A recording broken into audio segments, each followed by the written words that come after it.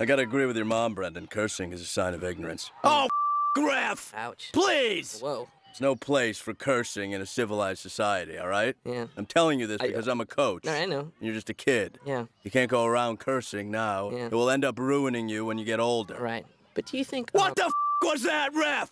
Oh. Are you taking a Is that what you're doing or are you making a call? Because if you can make a call, you make a call, but don't take a out there.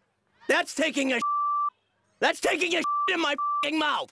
And I don't want to eat your you up head. Wow. Unless, Yeah. Brendon. Yeah. Unless you know how to do it right. What do you do? Obviously. Yeah. My ears are still ringing. Yeah. It's called creative use of words. Right. It's like poetry. Yeah. Like Robert Frost. Right. Stopping by the woods. Right. On a snowy evening. Right. That kind That's that's good stuff. But it's my poetry. Right. It's the everyday man's poetry. Yeah. Yeah. Right? Because we can't find good metaphors like the woods. Yeah. Or the snow or the horse or that kind of stuff. Right. Oh, f***ing f- me, ref. Hey guys. Eric.